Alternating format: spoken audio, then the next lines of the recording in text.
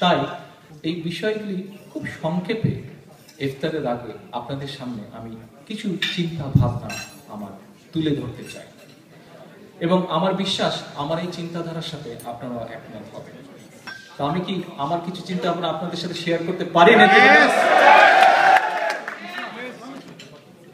তাহলে আসুন আপনাদের সাথে আমি আমার চিন্তা ভাবনাগুলো শেয়ার করি।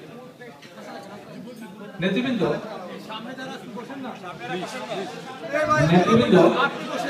একটু মনোযোগ দিয়ে শুনতে হবে কিন্তু নাহলে পরে যদি তুমি প্রশ্ন করি, তখন না পারলে কিন্তু খামাখায় হয়তো লজ্জার সম্মুখীন হতে হতে আমাদের রাজনীতির মূল উদ্দেশ্য কি? মূল উদ্দেশ্য কি শুধু ক্ষমতায়ন? না, মূল উদ্দেশ্য শুধু ক্ষমতায়ন না সেটি একটি লক্ষ্য হতে পারে আমাদের রাজনীতির।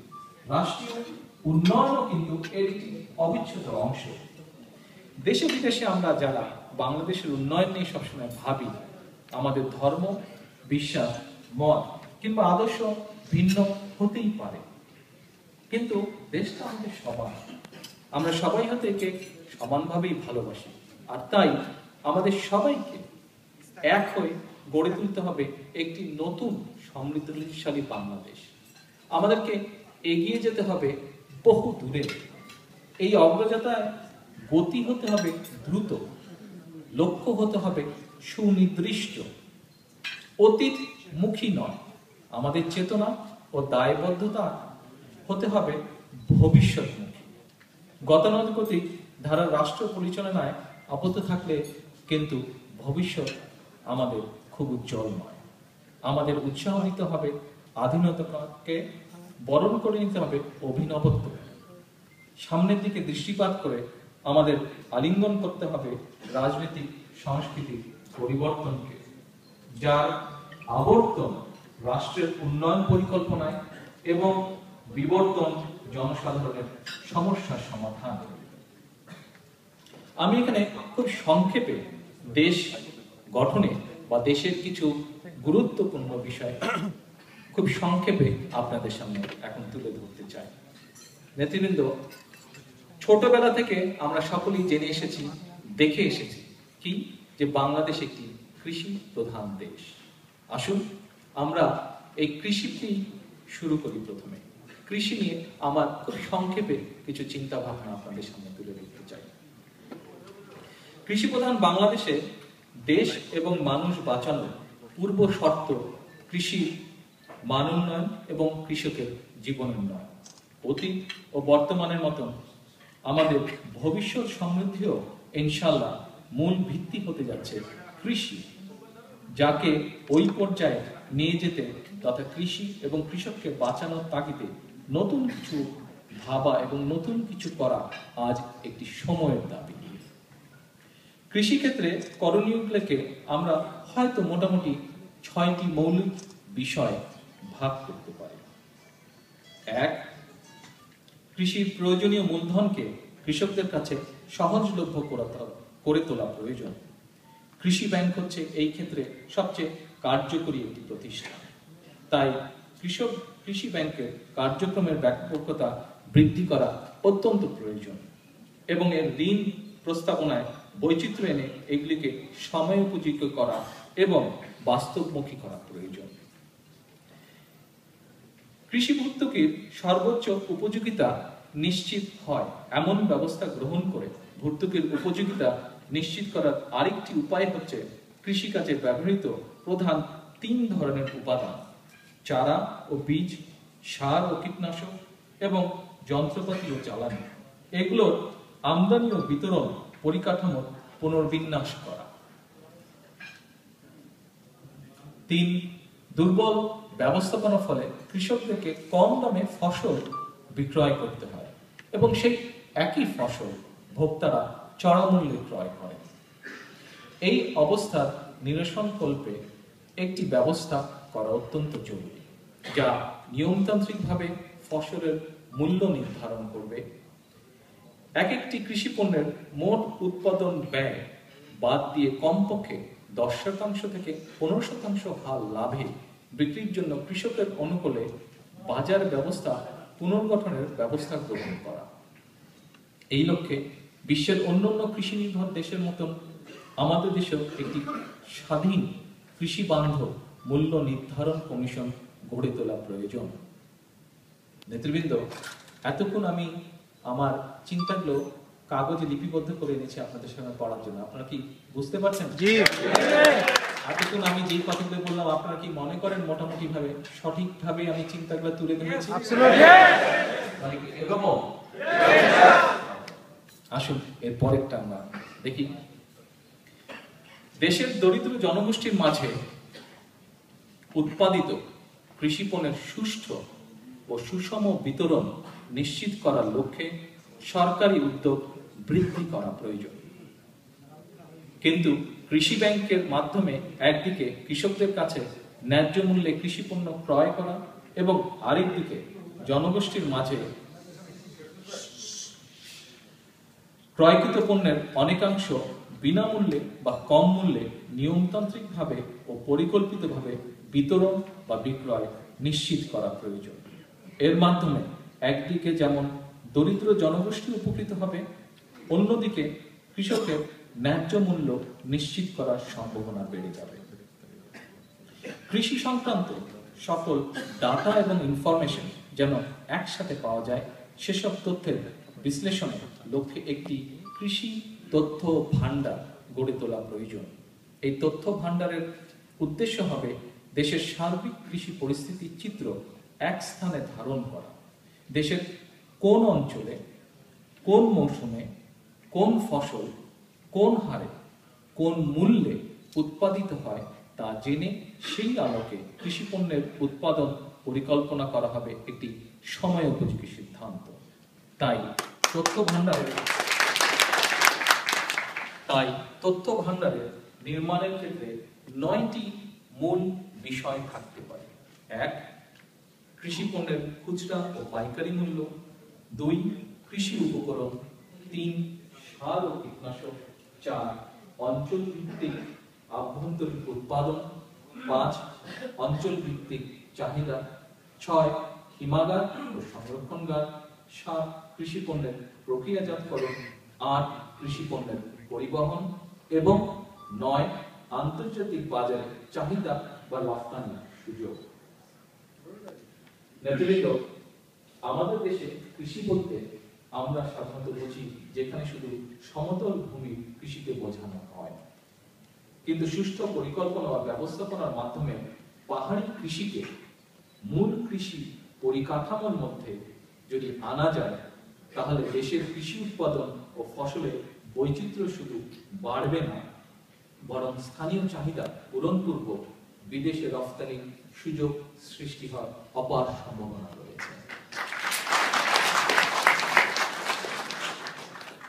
নেতৃবৃন্দ আসুন এরপরে যে বিষয়টি সেটি হচ্ছে এমন একটি বিষয় যার জন্য বাংলাদেশের বহু ছাত্র যুক্তরাজ্যের এই সুদূর মাটিতে এসে পাড়ি জমায়। কি সেটি? সেটি হচ্ছে শিক্ষা। সেটি হচ্ছে শিক্ষা। শিক্ষা সম্পর্কেও আমার কিছু চিন্তা ভাবনা আপনাদের সাথে আমি শেয়ার করতে চাই।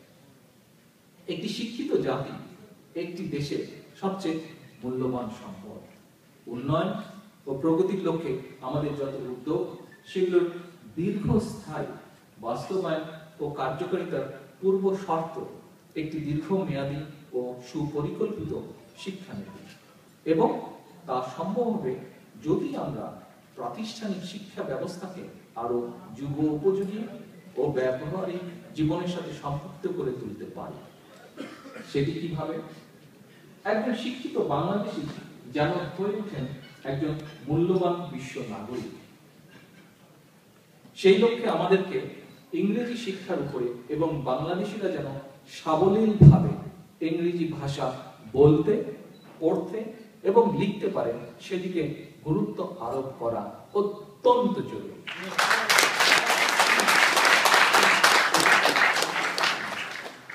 পেছন থেকে কি শুনতে অসুবিধা হচ্ছে? না কোনো রেসপন্স না।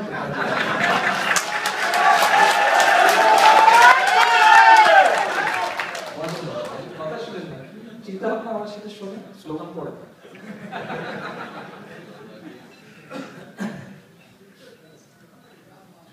বিশ্বের উন্নত দেশগুলোর মতন আমাদেরকেও ছাত্রছাত্রীদের, আমাদের ছাত্রছাত্রীদেরও তৃতীয়, এমনকি চতুর্থ ভাষায় পারদর্শিতা অর্জনের জন্য উদ্যোগ নেওয়া প্রয়োজন।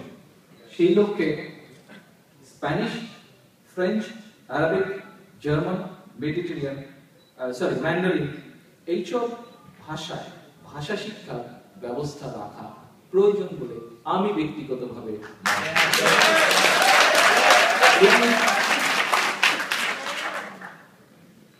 এই উদ্যোগের ফলে বিশ্বের মেধা দরবারে এবং আন্তর্জাতিক শ্রমবাজারে বাংলাদেশিদের প্রবেশ নতুন মাত্রা পাবে। একই সাথে বাণিজ্যের ক্ষেত্রে রফতানি বেগবান চলমান বাণিজ্য পরিকাঠামো দিয়েই শুধুমাত্র বহু ভাষা পারদর্শিতার দ্বারা পাঁচ বছরের মাঝে আমাদের রেমিটেন্সকে চোদ্দ বিলিয়ন থেকে বিশ বিলিয়নে নিয়ে যাওয়া সম্ভব বলে আমি নেতৃবৃন্দ বিষয়ভিত্তিক শিক্ষা ও প্রশিক্ষণের ক্ষেত্রে আমাদের বর্তমান ব্যবস্থায় ছাত্রছাত্রীদের অপশন খুবই সীমিত অবস্থায় রয়েছে। এই সংস্কৃতিতে মৌলিক পরিবর্তন এনে সিস্টেমটিকে আরও প্রসারিত করা এবং পাঠ্যসূচিতে নতুন নতুন অপশনাল সাবজেক্ট অন্তর্ভুক্ত করা প্রয়োজন বলে আমি মনে করি। আপনি কি একমত? কে কে একমত না হাত তুলবেন? কে কে একমত না? আচ্ছা সবাই একমত। থ্যাংক ইউ ভেরি মাচ উদাহরণস্বরূপ পার্সোনাল এন্ড প্রফেশনাল ডেভেলপমেন্ট নামে যদি একটি নতুন সাবজেক্ট অন্তর্ভুক্ত করা হয়, তাহলে আমি মনে করি ছাত্রছাত্রীরা প্র্যাকটিক্যালি তাদের সৃজনশীলতার বিকাশ ঘটবে। এবং কর্মজীবনে প্রবেশ ও উৎকর্ষের প্রস্তুতির ক্ষেত্রে উপকৃত হবে নেতৃবৃন্দ, আমাদের শিক্ষা ব্যবস্থা, পরীক্ষা ও মূল্যায়ন পদ্ধতির পরিবর্তনে মৌলিক পরিবর্তন আনার সময় হয়েছে। অ্যাসেসমেন্টের ক্ষেত্রে পুরো মার্কস লিখিত পরীক্ষার জন্য বরাদ্দ না রেখে আমি মনে করি আমরা লিখিত পরীক্ষার জন্য টু থার্ড মার্কস রেখে বাকি মার্কস সাবজেক্ট ভিত্তিক assignment presentation and group project এর মধ্যে ভাগ করে দিতে পারি।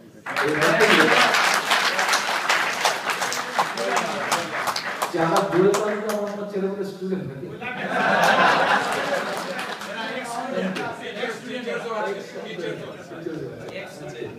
তাহলে আমার মনে হয় কারণ কি আগাচ্ছি নাকি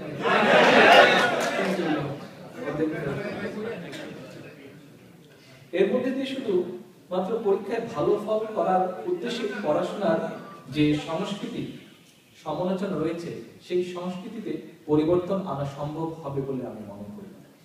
মূল্যায়ন প্রক্রিয়ায়, সংস্কারের মাধ্যমে মেধা তালিকায় শীর্ষ পর্যায়টি প্রকৃত পরিশ্রমী ছাত্রছাত্রী ও মেধাবীদের জন্য নিশ্চিত করা সম্ভব হবে। নেতৃবৃন্দ বাংলাদেশের শিক্ষা ব্যবস্থাকে করা দরকার কর্মমুখী তথা রিয়েল লাইফ বা জব ওরিয়েন্টেড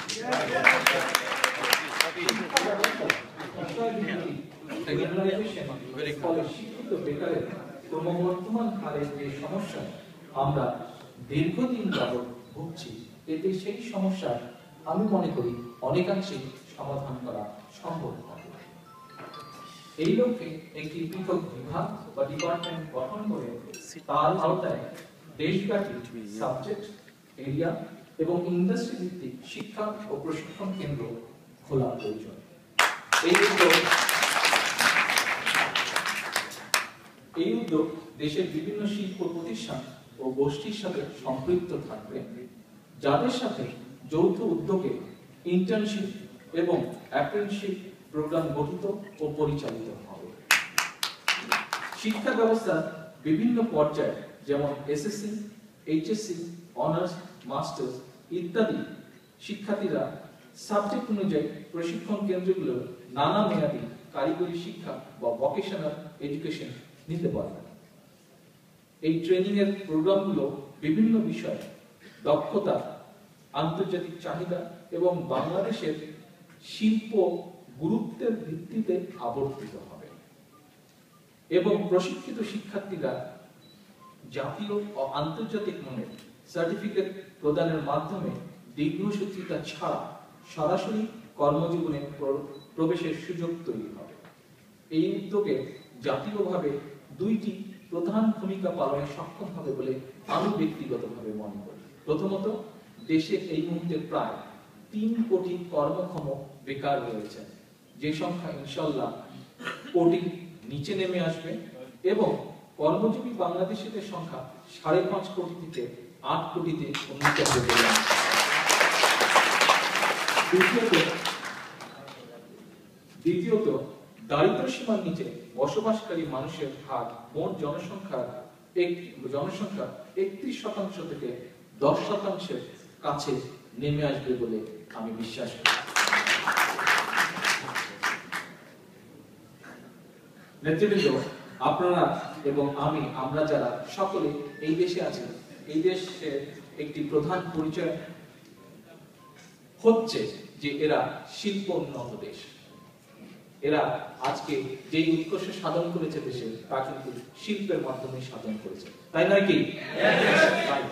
তাহলে এবার আসেন, আমরা আমাদের দেশের শিল্প নিয়ে কিছু কথা বলি বা কিছু চিন্তা শেয়ার করি। কি সেই চিন্তা? বাংলাদেশের অর্থনীতি ও সার্বিক বৈশিষ্ট্যকে বিবেচনা করে একে স্ট্র্যাটেজিক বা সাস্টেনেবল ভাবে একটি ইন্ডাস্ট্রিয়ালাইজ দেশ হিসাবে গড়ে তোলা এখন সময়ের দাবি। তাই কি? সময়ের দাবি? কি ভাই, পিছনে? ঠিক আছে? কি সময়ের দাবি, বলবেন কি? কোনটা? রাইট ইন্ডাস্ট্রি একদিকে প্রতিষ্ঠিত সেক্টর যেমন banking construction garment pharmaceutical health care retail ইত্যাদির জন্য ফাইন্যান্সিয়াল এবং ইনফ্রাস্ট্রাকচারাল সাপোর্ট দেওয়া বাঞ্ছনীয়। অন্যদিকে দেশীয় চাহিদা পরিপূরণ, বিপুল সংখ্যক কর্মসংস্থান সৃষ্টি এবং রফতানির ব্যাপক প্রসার। এই তিনটি লক্ষ্যকে সামনে রেখে দেশের সম্ভাবনাময় ও রফতানি কেন্দ্রিক শিল্পগুলোকে এগিয়ে নিয়ে যাওয়া দরকার। নেতৃবৃন্দ, একটু যদি মনোযোগ দেন এদিকে। থ্যাংক ইউ সো মাচ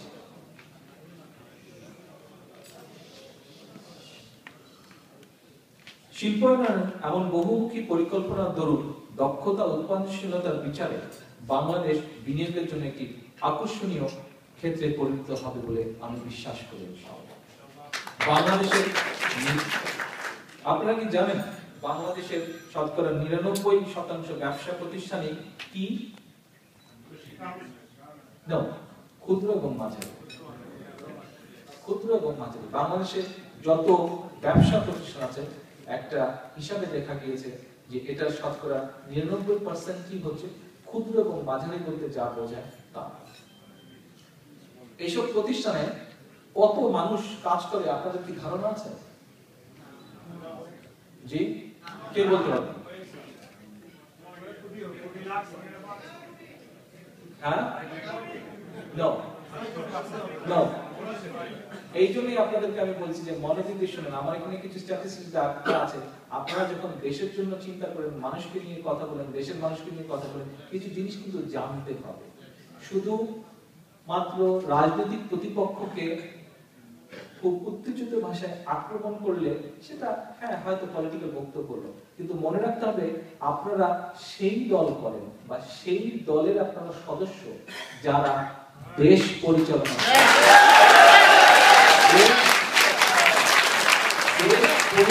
করতে হলে জানতে হবে, এখানে এবং এখানে দুই জায়গায় কিছু থাকতে হবে নাহলে কিন্তু না। বুঝতে পেরেছেন সেজন্য actually একটু মনোযোগ দিয়ে শোনেন হয়তো টুকটাক বেশ কিছু কথা বলব, যেটা যখন ডিবেট করবেন, এলাকায় গিয়ে ইসলাম নিয়ে যখন ডিবেট করবেন প্রতিপক্ষের সাথে, তখন সেগুলো ব্যবহার করতে পারবেন.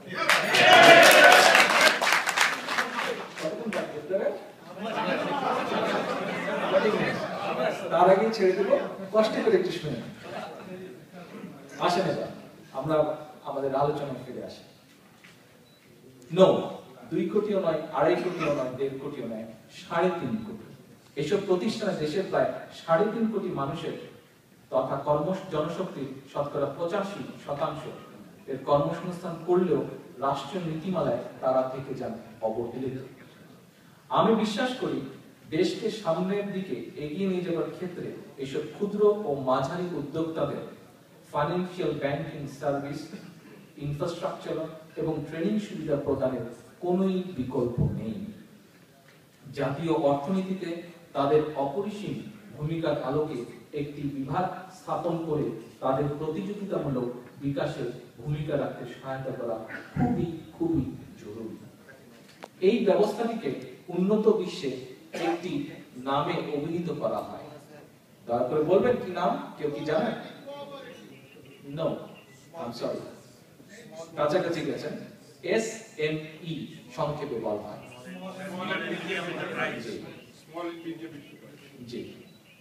এটি পরিচিত এই উন্নত বিশ্বে, যা এখন আমাদের মতো অনেকগুলো উন্নয়নশীল দেশে পরিচিতি লাভ করছে, একই সাথে প্রসার লাভ করছে।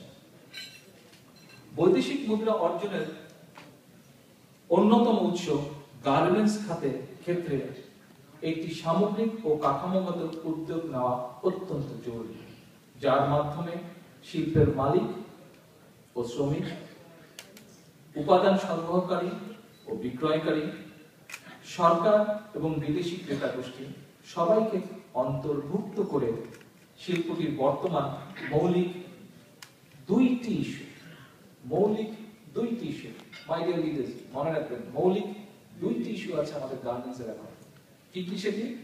শ্রমিকদের বেতন ও নিরাপত্তা এবং সুষ্ঠু কাজের পরিবেশ ও স্থিতিশীলতা এর স্থায়ী সমাধান করা দরকার।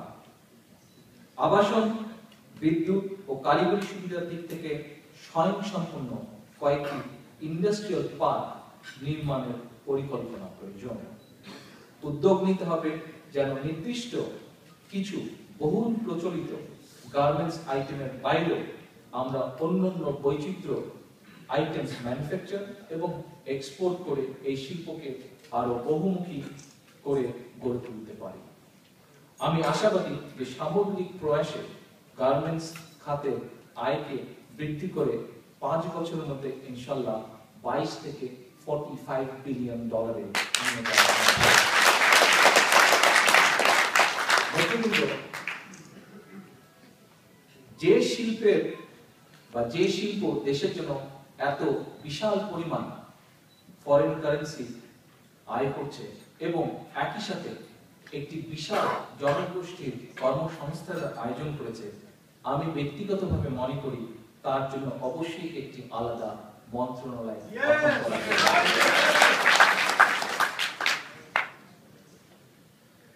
ফিরে আসি কৃষি রিলেটেড একটি কথা। কি সেটি কৃষিকে আমাদের রপ্তানি কেন্দ্রিক শিল্পায়ন পরিকল্পনার সাথে সরাসরি যুক্ত করা দরকার। আপনারা কি এটি মনে করেন? হ্যাঁ? কৃষিকেও যে আমরা ইন্ডাস্ট্রিতে রূপ দিতে পারি মনে করেন?